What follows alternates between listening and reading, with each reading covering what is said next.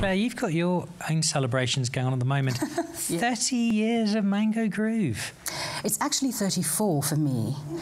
I, I, know, I know, it's terrifying. talking, of, talking of age. So you started when you were four rather than eight? exactly. I was, uh, you know, what can I say? I was a wonder child. it's been it's been a long, long journey. We're celebrating 30 years since the release of that very first album. Um, that was the big moment for us when things exploded. Prior to that, we'd been a bit of a, I guess, a bit of a cult band.